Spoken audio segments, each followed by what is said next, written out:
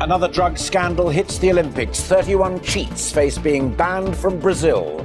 Hundreds of samples from Beijing 2008 were retested. Athletes from 12 countries in six different sports failed. Also tonight, the competition authorities urge banks to cap the costs of unarranged overdrafts. Critics wanted more. Microsoft becomes the latest firm to tell its employees leaving the EU could cost jobs and cut investment in the UK. And. Infamy! Infamy! They've all got it in for me! carry on, carry on. Two new films from the classic franchise are on their way.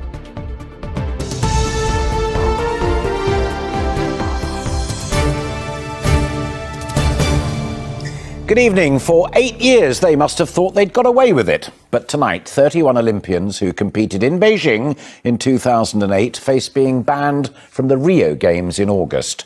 No names yet, but we know 12 countries and six sports are involved in this latest scandal. It was uncovered when the International Olympic Committee retested hundreds of samples using the latest technology, and there could be further bans. The IOC is awaiting the results of retest from the London 2012 Games.